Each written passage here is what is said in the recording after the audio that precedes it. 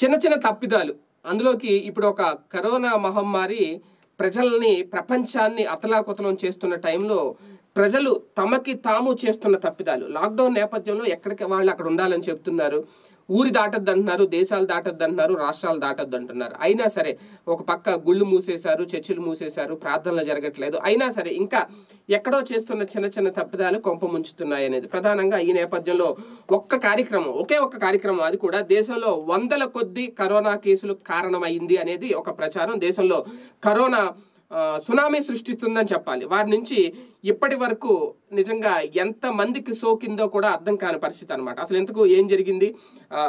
ఢిల్లీలో నిర్వహించిన ఆ కార్యక్రమం వల్ల ఎంతమంది ఇబ్బంది పడ్డారు అనేది చూసుకుంటే కనుక మార్చి ఒకటి నుంచి పదిహేను వరకు ఢిల్లీలో హజరత్ నిజాముద్దీన్ ప్రాంతంలో తబ్లిగ్ ఏ జమాత్ అనే ఒక సంస్థ ఒక ఆధ్యాత్మిక కార్యక్రమం నిర్వహించింది. ఈ కార్యక్రమానికి దేశంలోని చాలామంది రాష్ట్రాలకు చెందిన ప్రజలందరూ హాజరయ్యారు. ఆంధ్రప్రదేశ్ అలాగే తెలంగాణలోని అనేక జిల్లాల నుంచి కూడా ఈ కార్యక్రమానికి హాజరవడం.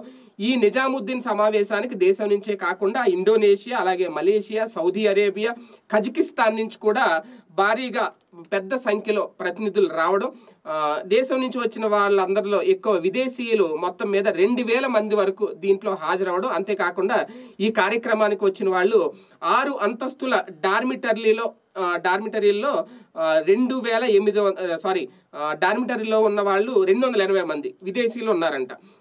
అక్కడ ఆరు అంతస్తుల డార్మిటర్లో డార్మిటరీల్లో మొత్తం అంటే ఒక గదులు వాళ్ళకి కావాల్సిన డార్మిటరీ గదులు ఉంటాయి కదా అందులో రెండు వందల ఎనభై మంది విదేశీయులు ఉన్నారు అనేది.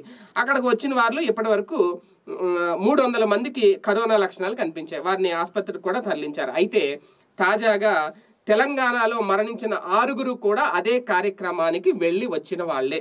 అయితే అటు ఆంధ్రాలోను తూర్పుగోదావరి జిల్లాలో విజయవాడలో వెలుగు చూసిన కరోనా కేసులు కూడా మూలాలు ఈ కార్యక్రమం ద్వారానే వచ్చాయి అనేది కూడా తెలియడం ఇప్పుడు ప్రజలను వణికిస్తున్న అంశం.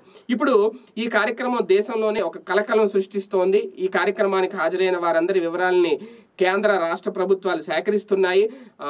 వేలాదిగా హాజరైన వాళ్ళు వీళ్ళ వివరాలు సేకరించడం అంత అంత ఆషామాషి వ్యవహారం కాదు. వీళ్ళు ఎన్ని వేల మందికి కరోనా అంటించి ఉంటారు అనే భయం ఇప్పుడు ప్రతి ఒక్కరిలో మొదలైంది. పూర్తి వివరాలు తెలిస్తే కానీ ఈ కార్యక్రమం ద్వారా ఎంత మేరకు కరోనా కనిపించింది ఎంతమందికి ప్రభావం? ఎందుకంటే మూడు వందల మందికే కరోనా లక్షణాలు కనిపించాయి అంటే మామూలు ఆషామాషి వ్యవహారం కాదు. మొత్తం మీద ఒక కార్యక్రమం ఒక ఆధ్యాత్మిక కార్యక్రమం ఇది. ఓకే ఒక మతానికి ఒక ప్రార్థనలకి పరిమితం అయినా సరే ఇలాంటి టైంలో చాలా జాగ్రత్తగా ఉండాల్సిన టైము. అయితే ఇది మార్చి ఒకటి నుంచి పదిహేను వరకు జరిగింది. అప్పుడు లాక్డౌన్ లేదు కాబట్టి వీళ్ళ వీళ్ళు నిర్వహించి ఉండొచ్చు కానీ అప్పటికే కరోనా ప్రభావం ఉంది. కానీ ఒక అజాగ్రత్త సరైన అప్రమత్తత లేకపోవడం ఇప్పుడు కొంప ముంచిందని చెప్పాలి. అదే ఇప్పుడు సోషల్ మీడియాలో వైరల్ అవుతుంది. ఇది ఎంతవరకు తీసుకెళ్తుంది? దీని పరిణామం పరిస్థితి ఏంటి అనేది ఇంకా కాలమే నిర్ణయించాలి. ఈ వీడియో గనక మీకు నచ్చినట్లయితే లైక్ చేయండి షేర్ చేయండి.